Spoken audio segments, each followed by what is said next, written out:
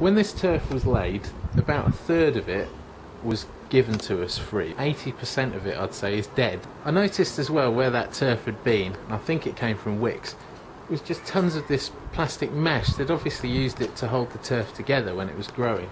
It's not biodegradable. It's still there. Um, and I've just had to pull tons of it up.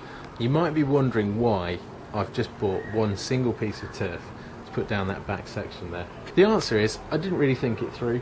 It looked like there was one scraggy bit that would probably need some turf, so I went and bought some turf to put down.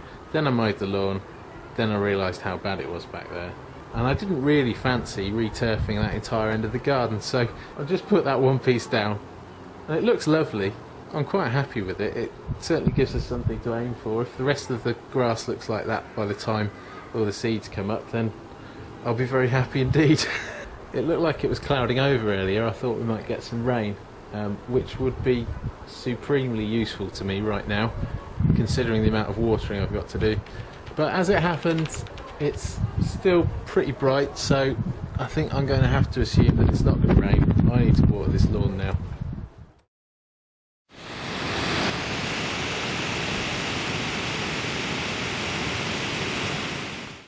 It's uh, quite tiring, really.